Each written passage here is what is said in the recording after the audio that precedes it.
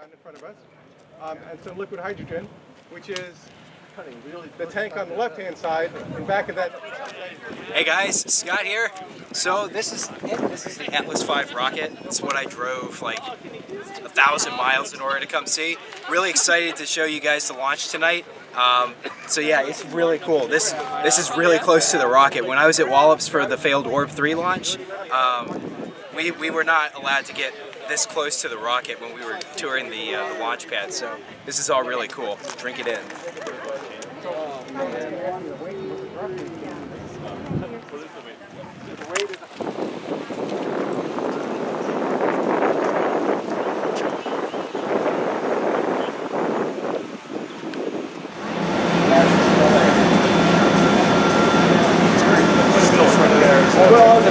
Saturn V already? All right, everybody, we can gather around over here.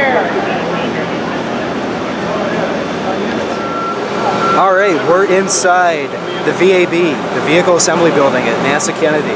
So over to my left over this way is uh, one of the shuttle bays.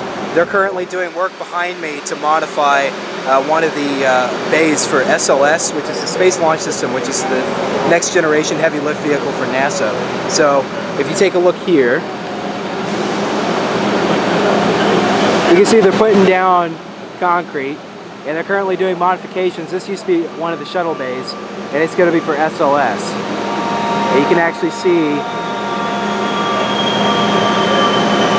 that's the height difference between the Saturn V and the planned SLS. Pretty cool.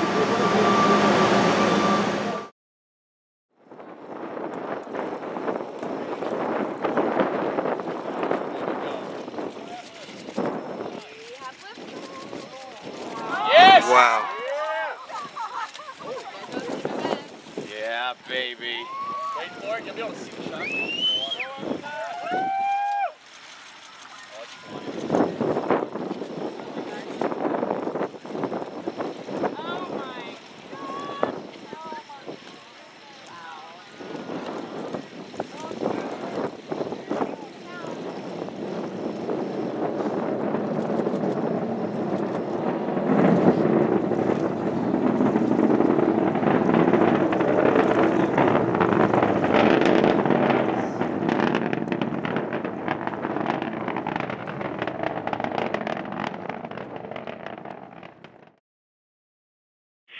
Launch target shelters may be required for application. Approved launch target shelters are identified with the brown sign at the main facility entrance.